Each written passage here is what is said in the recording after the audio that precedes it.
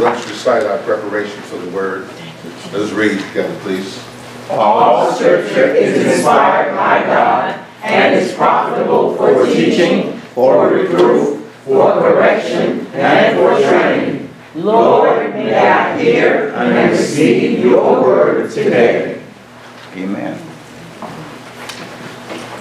There's a question that is most crucial to our life. A question that one must answer very carefully. One does not answer this question carefully or correctly, one simply is not ready to die, not really equipped to live. A question that affects every area of life. Question is the one that Jesus asked his disciples according to the account given to us in the Gospel of Matthew, chapter 16 and verse 15, where it is asked, Who do you say that I am? The answer to that question determines one's eternal destiny.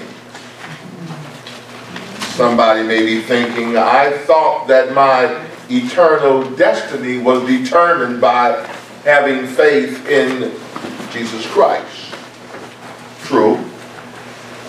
But unless you know who Jesus Christ truly is, your faith will probably be in some imaginary Jesus. For your faith to be truly in Jesus, you must truly understand who he is. It's the Mormons and the Jehovah Witnesses who have a kind of faith in some kind of Jesus. But he's not the Jesus who is revealed to us in Scripture. And it is that kind of faith that we see in the cults of the Mormons and the Jehovah Witnesses, which will not save. Your answer to that question not only affects your eternal destiny, but also how you live in the present. God has opened your eyes to see that Jesus is Lord, then he has something to say about whom we marry about how we relate to our mates, how we rear our children. He tells us how to operate our businesses, how to manage our money, how to govern all of our life. If Jesus is the Lord of the universe, then he must be the Lord over every aspect of our lives. Amen. Even beginning with the thought level. And I must add that once you have seen that Jesus truly is the Lord God in human flesh, you will have to come back repeatedly to that crucial question. Who do you say that I am? You remember John the Baptist, that bold prophet who served as the forerunner to Jesus. He had to answer that question. And it was he who proclaimed that Jesus was the Lamb of God who takes away the sins of the world.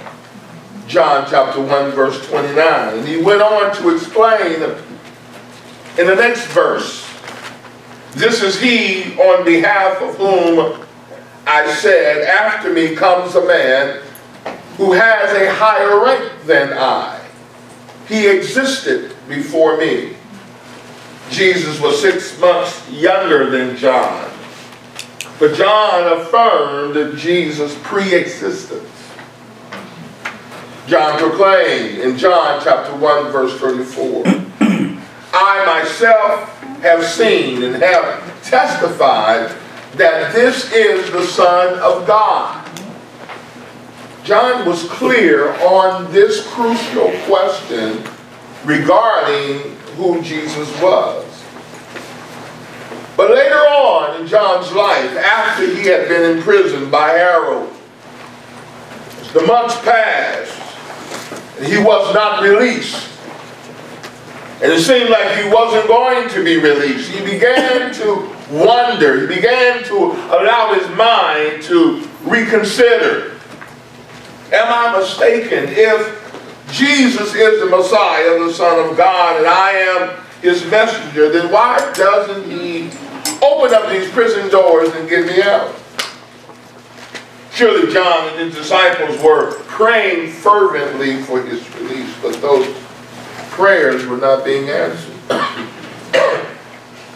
so according to Matthew's Gospel, chapter 11, verse 3, John sent his disciples to Jesus to ask, Are you the expected one? Or shall we look for someone else? Why this question? Why begin to doubt? His difficult situation is the difficulty that he was in caused him to waver for a moment in his belief system. Is Jesus really the Son of God? Jesus sent back a clear, definite answer in verses 4 through 6 in the 11th chapter of Matthew. Go, he says, and report to John what you hear and see. The blind receive sight, the lame walk, the lepers are cleansed, and the deaf hear. The dead are raised up, and the poor have the gospel preached to them. And blessed is he who does not take offense at me. You see, John would have recognized that Jesus' words show that he was indeed the promised Messiah.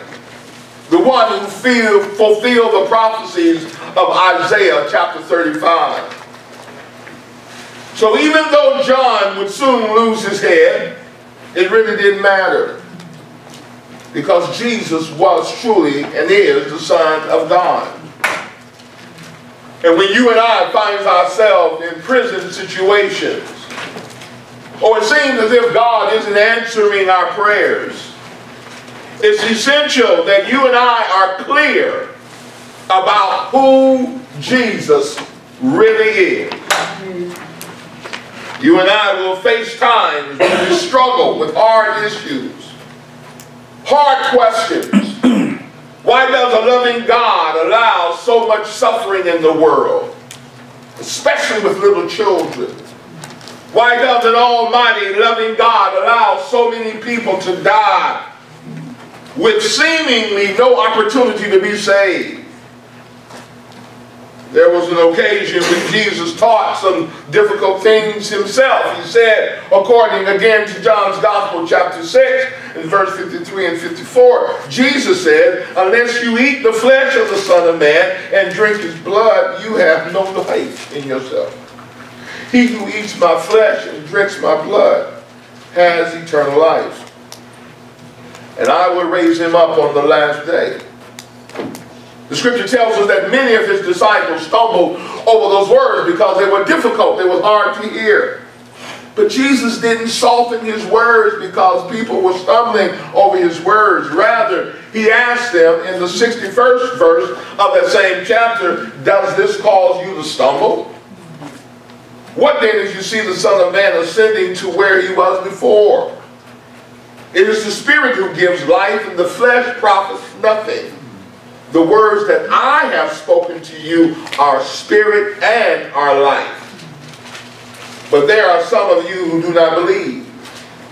He went on in verse 65 to add, For this reason I have said to you that no one can come to me unless it has been granted him from the Father. Amen.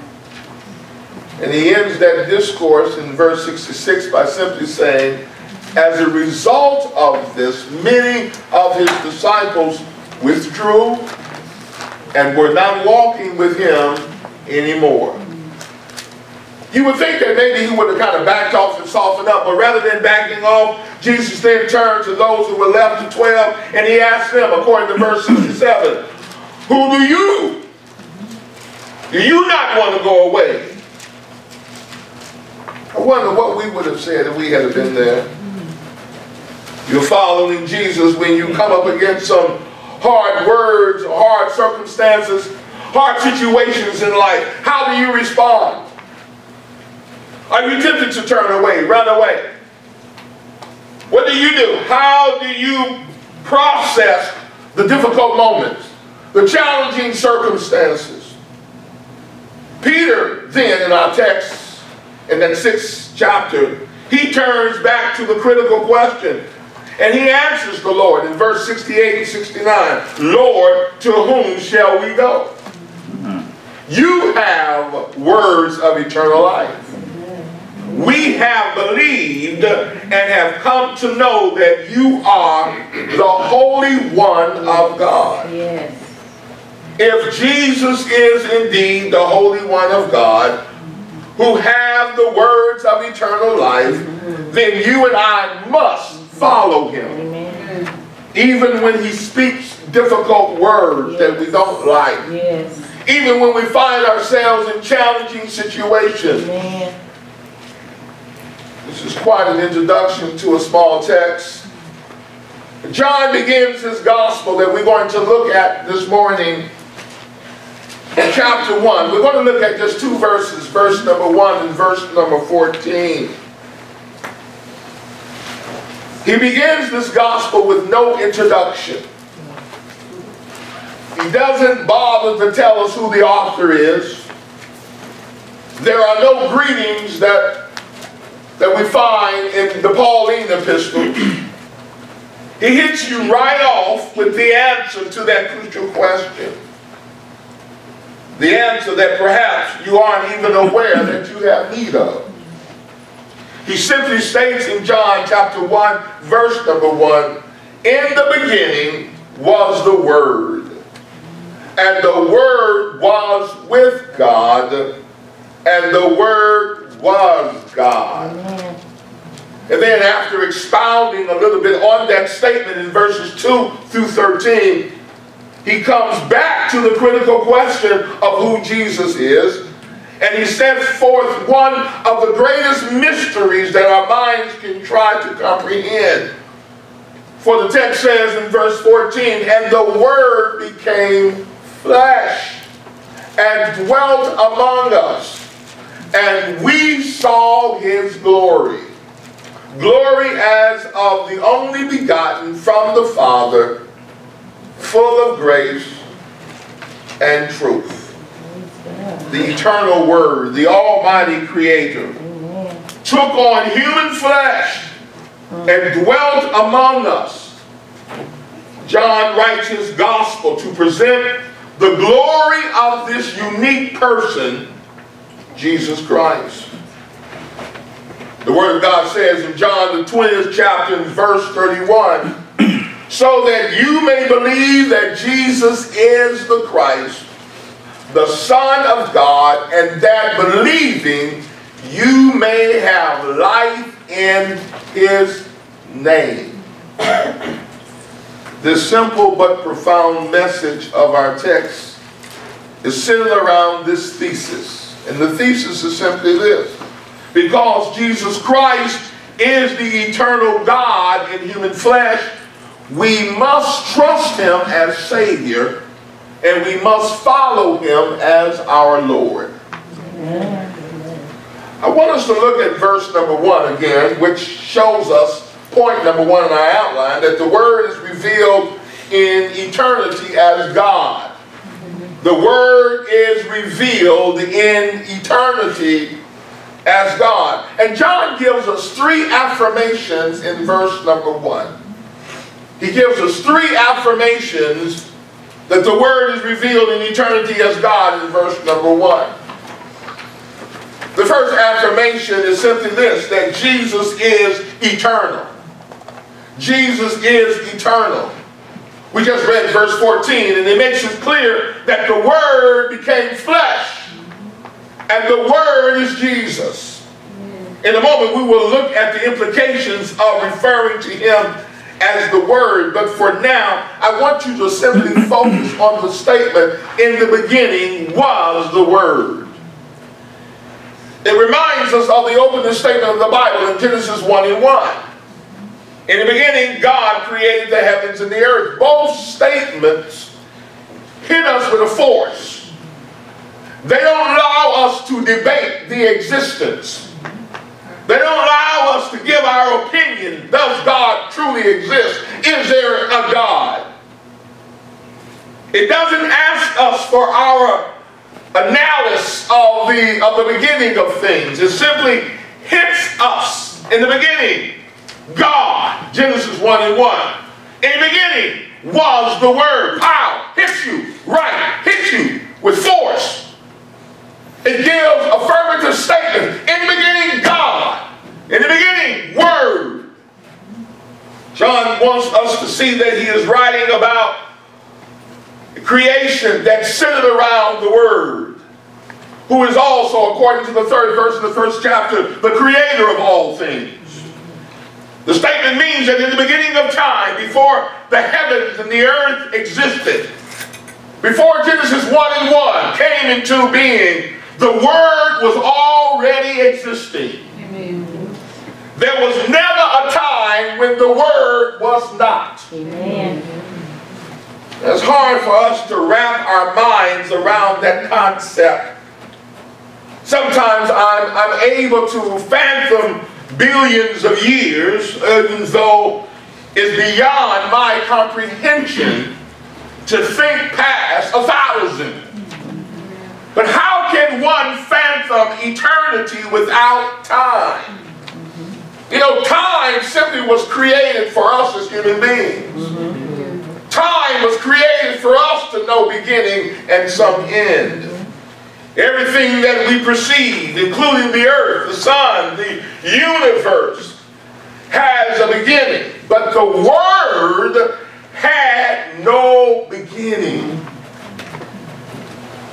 The first affirmation was this Jesus is eternal. Jesus is eternal. Here's the second affirmation Jesus is the second person of the Trinity. Jesus is the second person of the Trinity. I like the way John continues. He continues, and, the conjunction and, connecting us to, in the beginning was the Word, and the Word was with God. Leon Morris, in his commentary on the Gospel of John, he puts emphasis on the preposition with. And I, I, I, want for a few seconds just to talk to you about this preposition, with. And the Word was with God. In the beginning was the Word, and the Word was with God. The whole existence of the Word was connected toward the Father. You should understand that this preposition, with, conveys two ideas in relationship with God. It conveys the idea, number one, of what was accomplished, and number two, the relationship that one had. He notes that John repeats this in verse 2. Look at verse 2 again. You look at it and read it to yourself. And do and see, do you not see with God? It shows that this is not some casual commitment, but it is one of great importance. For in the first phrase, John establishes the eternal nature of the Word as God. In the second phrase, he shows that the Word existed in the closest possible connection with the Father. It shows that the Word is not some impersonal idea or philosophy, but the Word is a person. Now get this, a person that is distinguishable from God is a person, but a person that is distinguishable from God. He is eternal God. Although our finite minds cannot comprehend totally the mystery of the Trinity, Scripture is clear that God is one God who exists in three distinct persons. And each person is fully God and yet they are not three gods, but one God. Mystery. First affirmation, Jesus is eternal. Second affirmation, Jesus is the second person of the Trinity. Here's the third affirmation. Jesus is God. Jesus is God. The third phrase, and the Word was God. The second phrase used the preposition with, and, and the Word was with God. In accomplishment and in relationship, he was with God. But the third affirmation, and the Word was God. Nothing higher than this can be said. All that may be said about God may be fitly joined in that statement. What it says about the Word. The statement should not be watered down. John is not merely saying that there is something divine about Jesus. He's not simply saying there's something unique about Jesus. He is simply making the affirmation that Jesus is God. And doing so emphatically as we see from the word order of the sentence in the Greek language. If you have an encounter with Jehovah Witnesses, you will know that they claim that the Greek text in this particular verse, the word was a God, it reads in their Bible. They take the article a and place it before God. And the word was a God. Because they say there is no Greek definite article before God. Every cult who errs in their doctrine, they err in regarding to who Jesus Christ is. For Satan knows that if people do not have a biblical view of who Jesus really is, then they have answered the critical question wrongly. And if they do not know the Son, then they will not honor him as God. And if they do not honor him as God, then they won't be able to honor the Father. According to John 5 and 23. For you cannot honor the Father if you don't honor the Son. If you don't honor the Son, you cannot honor the Father. So then how does one really answer the Jehovah Witnesses who make a big deal about the article A. It should be the article A there in front of God. First of all, this is the only way in the Greek language to say it. The word was God. No article is needed. The word was God. If John had to put a definite article before God, it would have equated the word totally with God, thus negating the distinction between the word and God the Father. Secondly, without getting too technical, there's a rule made in the Greek language that shows that a definite article only precedes a noun if it's followed by a verb. And they regularly lax the definite article. There's an example of this. Turn it quickly. Or, or you already have it in chapter 1. Look down in verse 49. When Nathaniel proclaims, Rabbi, you are, notice the article, you are the Son of God. Y'all see that? Mm-hmm. Did somebody beside those three? Yes. Somebody beside those six? Okay. You are the Son of God. You are the King of Israel. Now there is an article in front of King. Because there is a noun following that, which, which precedes a verb. You are the king. You are the son of God. But obviously, Nathaniel isn't saying you are a king. The. The king. He was proclaiming that Jesus was the king of Israel. A third way we want to respond is that there are many other scriptures that clearly proclaim that Jesus is God. When at the climax of John's Gospel in chapter 20, turn a few pages over, chapter 20, verse 28. Chapter 20, verse 28. Thomas, the disciple, sees the risen Christ, and he makes a proclamation. The 20th Gospel, verse 28, he says, my Lord and my God. My Lord and my God. Now, the Jehovah Witnesses have problems with this statement because they claim that he's simply making an explanation. But that would have been swearing in Jesus' day. Surely Jesus would have rebuked him for for saying a, a swearing word.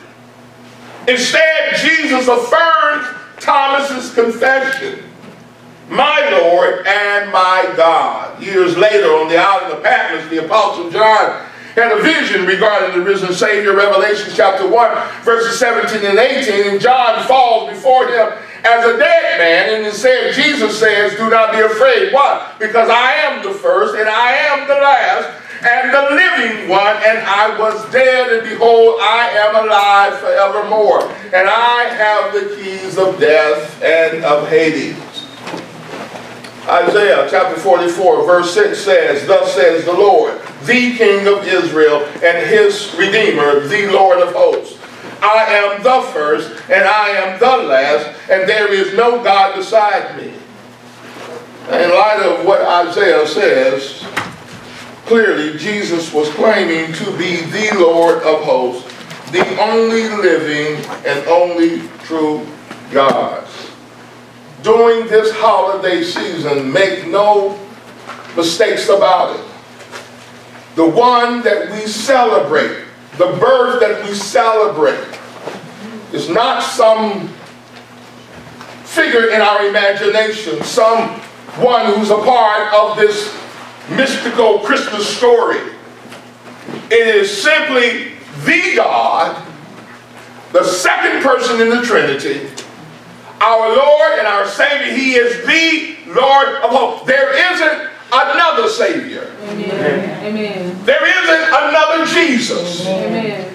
The one that we celebrate this coming Friday is the Son of God, the Jesus Christ, the King of Israel. Hallelujah. Amen. Don't get that mixed up. Don't allow the philosophers, don't allow the cults tell us otherwise. Amen.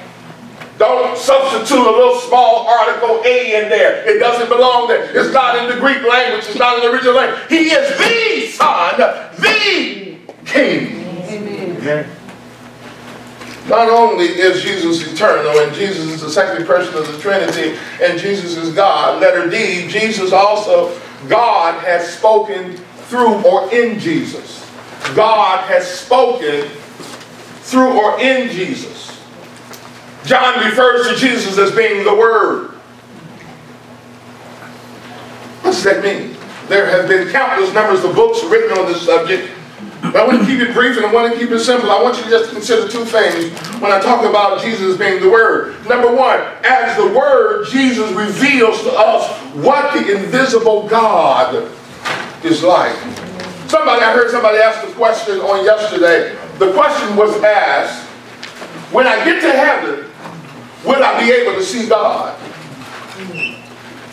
When I get to heaven and I have my new body, will I be able to see God? And the response was, I think, right on. Because the response was simply, there will be no need to see God. Because we will have already seen him and we will have already become acquainted with him. Amen. Because as one is acquainted with Jesus, Amen. as one come in contact with Jesus, right. one has come in contact with God. Right. So there is no need to have a form-fitting God. There is no need to have some kind of contact with God because God is Jesus. And all that God is and all that is encompassed in God is seen in the work and the words and the manifestation of Jesus. All right. We celebrate the fact that Jesus is the image of the invisible God. Amen. Amen. God wrapped himself up in flesh. Hallelujah. And came to dwell among us. Yes, Lord. All in Jesus. So, so, so number one, as the Word, when he talks about the Word was with God, the Word was God, he's talking about he is the revealed, invisible God. Number two, as the Word, Jesus also shows us our responsibility toward God. Hebrews chapter 1, verse 1 and 2. Hebrews 1 and verse 1 and 2 begins, God, after he spoke long ago to the fathers and the people in many portions and in many ways, in these last days has spoken to us in his Son whom he appointed heir, whom he, God, appointed heir. Talking about Jesus of all things, through whom also he made the worlds. Through Jesus, God made the worlds. If God has spoken to us, and Jesus is his word, then we had better listen to what he's saying and get an attitude of obedience because when Jesus speaks, God is speaking. As John 3 and 36 draws, draws the line, he who believes in the Son has eternal life. He who believes in the Son has eternal life. Not he who believes in church, not he who believes in an organization, not he who goes to church, not he who gives to the poor, but he who believes in the Son has eternal life. But he who does not obey he who does not obey the Son will not see life, comma, but the wrath of God abides on him. Now get that, now get that, don't get that, get that. If you have eternal life, you believe mm-hmm. in Jesus. But see, if you don't obey the Son, you will not see life, and the wrath of God will abide on you.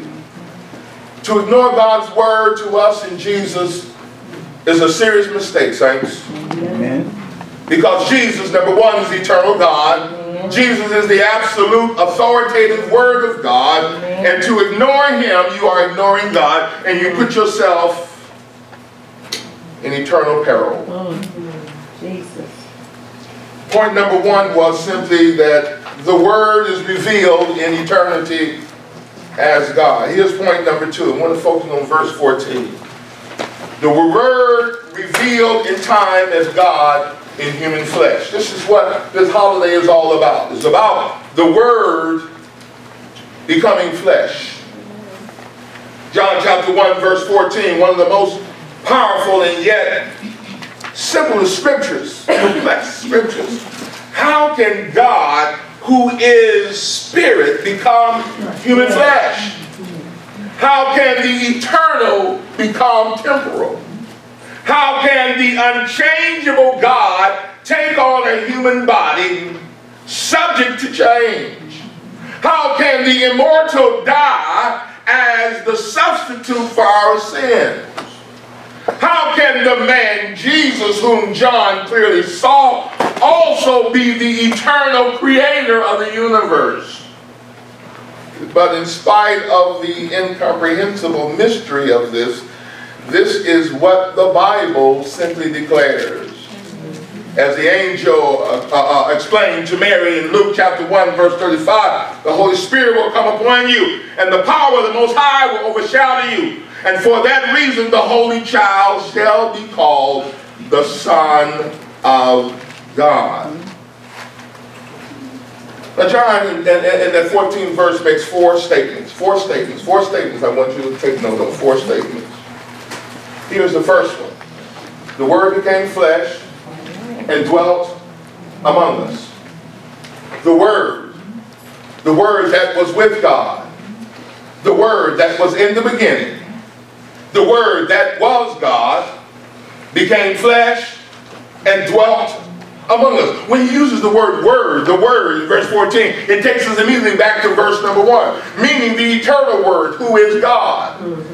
The eternal one who has no beginning, who has no end, the eternal one who has always been, this eternal one now becomes flesh now, John have used a more milder term, such as he became man.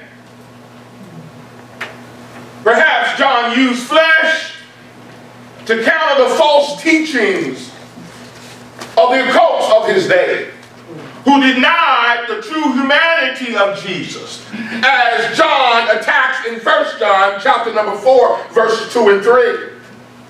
They asserted that all matter was evil, which the Bible does not teach. And although Jesus does not share our sinful nature, he is yet completely human. Notice the word dwelt. Notice his verb dwelt. He dwelt among us. Literally, in the original language, it means he tabernacled among us.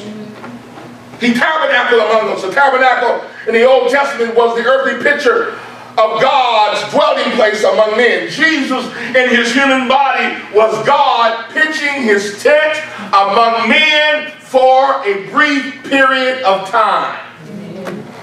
He tabernacled. He dwelt among us. First thing I want you to know from verse 14 is that Jesus became what flesh? And that he what? Dwelt among us. Here's the second thing. We saw his glory. We saw his glory. Now we have to ask the question, who is we? Now John is writing this gospel some 30 years after Jesus' ascension. So he's reflecting back on what he what he saw, what he experienced. He makes no record, he makes no connection with himself in the first person at all through his gospel.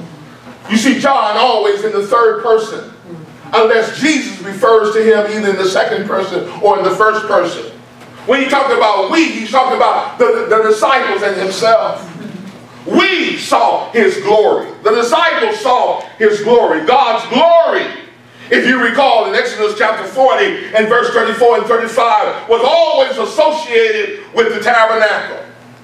If the tabernacle did not manifest the glory of God, then the people looking upon the tabernacle knew that God's presence was not there. With regard to Jesus, when he performed his first miracle, by the way, what was his first miracle? Turning the water into wine. In John chapter 2, verse 11, it reports that this beginning of his signs did Jesus in Cana of Galilee. And the text says, manifested his glory. And his disciples believed in him.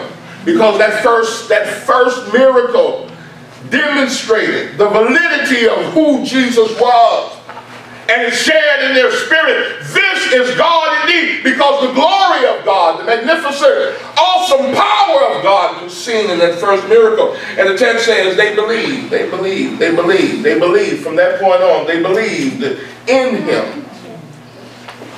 John, of course, also saw Jesus' glory on the Mount of Transfiguration.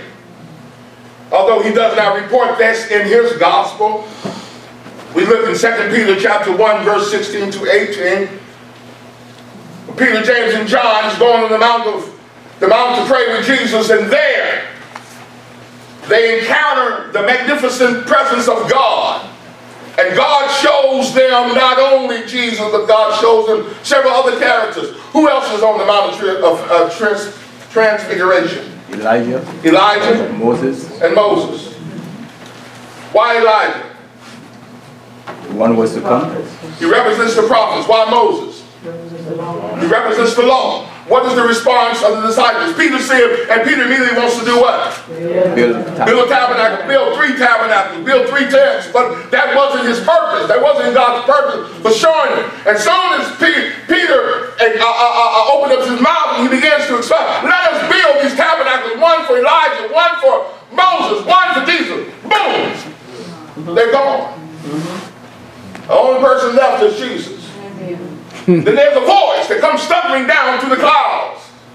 This is my son. Yes, Lord. This is the only one I want you to be connected with. Yes. Elijah and Moses pointed to him. They spoke in regarding to him. But he is here. Amen. They saw that, but they had to they had to witness who Jesus Christ really was. And, and, and, and, and there is a deeper sense in which you see the manifestation of Jesus' glory on the cross. When Judas, you remember, when Jesus went out to betray him, Jesus said, Now is the Son of Man glorified, and God is glorified in him. The 13th chapter of the Gospel of John, verse 31 when John and the other disciples saw Jesus willingly offering himself for our sins, they simply saw the glory of God. When he says we saw the glory, John saw him mag magnify the essence of God on several occasions. When he did his miracles on the Mount of Transfiguration, and even on the cross. So the word became flesh and did what? It dwelt among us. Number two, he says we saw his glory. And then there's letter C. Jesus' glory was that of the only begotten from the Father. That word only begotten is better translated unique or only one of his kind. The same word is used to refer to Isaac according to Hebrews 11 and 17. He was not Abraham's only son, but he was his unique son. He was simply the son of promise. Only begotten does not refer to Jesus being born of Mary or to his coming into existence at some time in the past, which he did not. Rather, it points to his unique beginnings and his unique relationship to the Father as being the eternal Son. He is God's Son in a unique way that no one else is and how no one else can be. Amen. That's Jesus. Amen. And then he makes this fourth starting statement in the 14th verse. Jesus was full of grace and truth. Notice that phrase. He was full of grace and truth. Where's this pointing us back? It's pointing us back to the Word. John adds these terms here because both are essential for us to understand salvation. Grace is God's unmerited favor, Yes, it is. shown to those who deserve His judgment. Mm. Yes, Lord. If you can earn salvation, then you don't need grace. right. Amen. Only a sinner needs grace. The only way you can receive God's salvation is to acknowledge your need as a sinner. Yes. Renounce all trust in yourself or on your own merit. And simply trust in the grace of God as shown on the cross of Christ. Amen. Truth points to God's character. Amen. Truth points to God's character. Jesus is absolute truth. By contrast, Satan is an absolute liar. He's the father of lies, according to John 4, 8 and 44. As the God of truth, his righteousness calls us to truth. But we have sinned and fallen short of his perfect righteousness. So Jesus claimed in John 14 and 6, I am the way and the truth and the life. No one comes to the Father but through me. Jesus embodied the truth and lived in accordance with God's truth. And when he offered himself on the cross as the sinless substitute, he paid the penalty for sin that you and I deserve.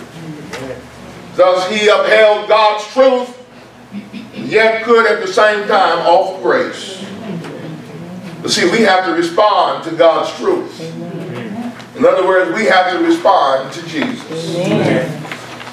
What have we learned so far? We have learned several things. We have learned, number one, that the Word is revealed in eternity as God. Number two, we've learned that the Word is revealed in time as God in the flesh. And there's one other point I want us to take from these two verses. Our response to the eternal Word made flesh should be to trust Him as Savior and follow Him simply as Lord. 2 Corinthians chapter 4 verse 4 regarding those who are perishing says this.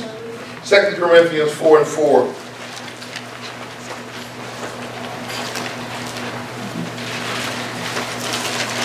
In whose case the God of this world has blinded the minds of the unbelieving so that they might not see the light of the gospel of the glory of Christ, who is the image of God. Let me read that again. Some of you all just got it. In whose case the God of this world, who is the God of this world? Teacher. Satan. Now, now notice what the text says he has done. He has what? Blinded the minds of the unbelieving. For what reason has he, has he done this? So that they, the unbelieving, might not see what? See the light of the gospel of the glory of Christ. And notice how he, how he modifies Christ, who is the image of God. Unless God opens one's eyes, one will not, cannot see the glory of Christ, who is, according to John's gospel, the eternal word who became flesh. Yes. But Paul continues in that in that uh, uh, second uh, Corinthians 4 chapter verse 6. He says, For God who said, Light shall shine out of darkness is the one who has shown in our hearts to give the light of the knowledge of the glory of God. Where? In the face of Christ. When God opened our eyes to see his glory that was in Christ, you and I instantly saw the answer to all of life's problems. And we instantly saw the answer to the most critical question in regarding to who is Jesus Christ. Who is he? He is the eternal word who took on flesh. Who is he? He was with God who took on flesh. Who is he? He was God, is God who took on flesh. And his glory was especially revealed when he died on the cross on our behalf to satisfy God's wrath. Therefore, you and I must trust him as Savior and we must follow him as Lord. As we move, as we have already been observing in this season that we call the Christmas season, as we move closer to the date of the actual celebrating of the birth of Christ, do not lose sight of him being God. Do not lose sight of why he came. Do not lose sight of why God sent him in the earth realm. For what reason? Do not take light of your salvation. Do not take light of your walk and your connectedness with God. You are saved because God gave to us the very best gift he had. How do you answer this crucial question? Have you answered this crucial question? If not, I want you to read through the Gospels and ask God to open your eyes to see the glory of Jesus Christ. See the glory of Jesus Christ through everything. See the glory of Jesus Christ in that Christmas tree you got in your house. Which reminds us of the evergreen. And the evergreen is full of life. When you see the lights in your house and the lights on the tree, it should remind you of Jesus being the light of the world. When you take notice of all those gifts and presents under that tree, under that green evergreen tree that represents life, it should remind you that the wise men from the east came and brought to him expensive gifts. That's how you treat a king. Amen. Amen. Amen. When you sit down and sup at the house with the dinner and the turkey and the ham and your family and friends, will have supper with Jesus up in heaven. Everything that we do these coming days should remind us of Jesus, Yes. of Jesus Christ. Amen. Don't lose sight. Don't lose sight. Be a messenger. Tell somebody. It's really about Jesus. It's all about Jesus. It's all about Jesus. The berries, the the, the, the, the, the mistletoe. It's all about Jesus. Thank you, Lord. It's all right to have all this stuff. It's all right. The Bible doesn't speak about this being a sin, but you need to connect it to Jesus. Amen. Amen. Amen. Recognize that He is God. Yes. He loved us so much He did not want us to be punished forever in hell. So He Thank you, sent. Jesus, Thank you, Lord. Himself wrapped in flesh. Thank you, Jesus. Celebrate Jesus. Yes. Celebrate Jesus. Yes. This holiday season. Mm. Everything in life and eternity rests on the right response to the question Jesus asked his disciples, Who do you say that I am?